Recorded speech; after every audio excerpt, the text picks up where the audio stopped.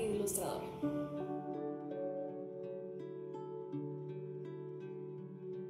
Significa todo para mí. Básicamente, todo lo que he hecho desde pequeña ha ido formando poco a poco el cómo soy ahora, mi personalidad, básicamente.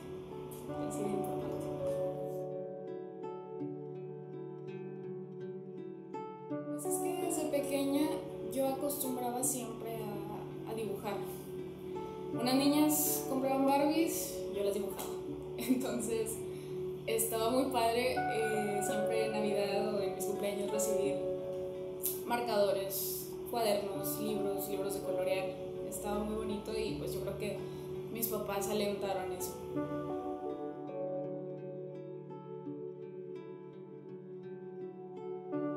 Cuando tenía 8 me tocó hacer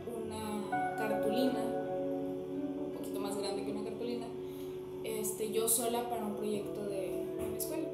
En ese entonces no le tomaban tanto, tanta importancia, pues después de todo un trabajo escolar. Pero ese trabajo lo llevó a ver un maestro. Este maestro me dice, oye, ¿a ti te gusta mucho dibujar y pintar, no? Y yo, ah, no, pues sí, sí, tenía 10 años, no, la verdad no sabía. Y yo, ah, pues sí, está con ganas. Este, entonces, él le dice a mi mamá esto y de ahí me meten a un curso para dibujar. Entonces,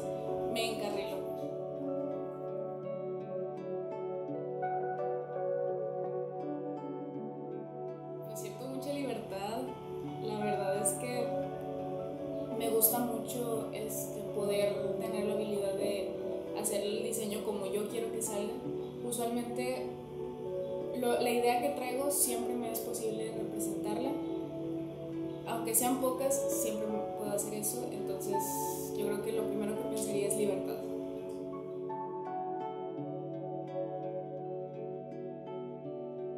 Es difícil.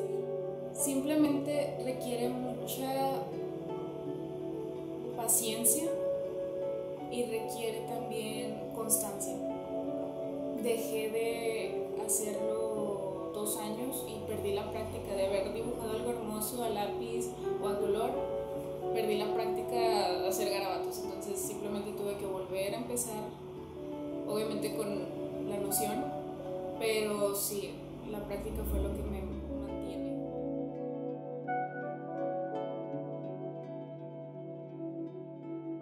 No, creo que no. Yo pensaba que,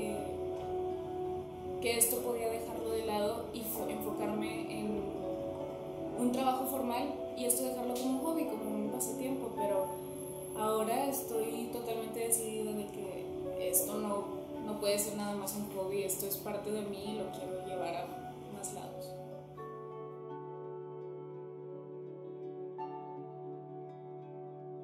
Bueno, mi bloqueo creativo siempre ocurre cuando todo está desacomodado en mi cabeza y no tengo idea de cómo sacarlo al cuaderno.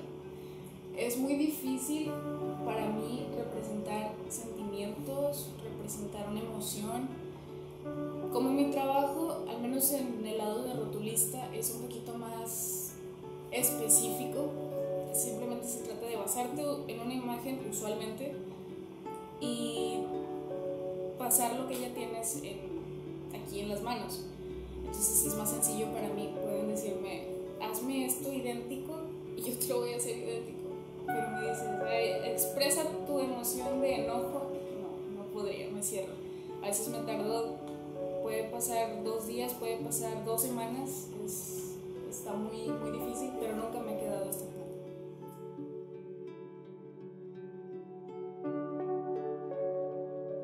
Aparte de formar mi propio negocio,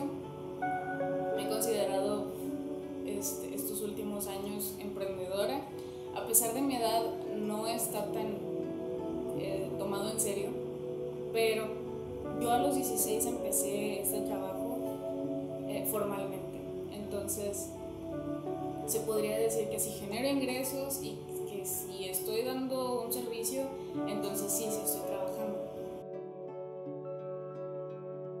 Poder formar mi, propio, mi propia empresa, mi propio local, negocio, sería un sueño, estaría, estaría hermoso. Este, pero yo quisiera llegar al menos en México, quisiera tocar cada rinconcito y que haya al menos un mural, una ilustración bien plasmada en el lugar.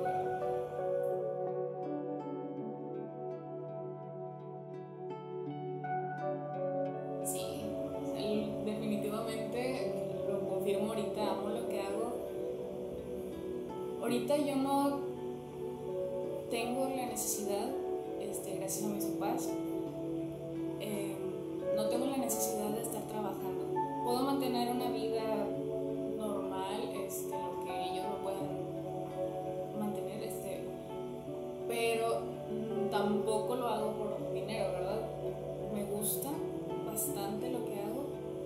Ir a pintar a otros lugares como, aunque ya llevo varias veces haciéndolo, es, me sentía nerviosa el lunes de empezar el trabajo que estaba haciendo, de que, ay, si me gusta y, si lo hago más inclinado, y si lo hago más a la derecha, este. Pero me gusta, me gusta saber que me puedo superar a mí misma y puedo hacer lo que yo me estoy proponiendo. Y aparte de eso, recibir el elogio, el, la aceptación, el, mira qué bonito te quedó, te voy a recomendar. Eso es, o sea, yo creo que eso no, no se paga, no, no lo cubre el dinero.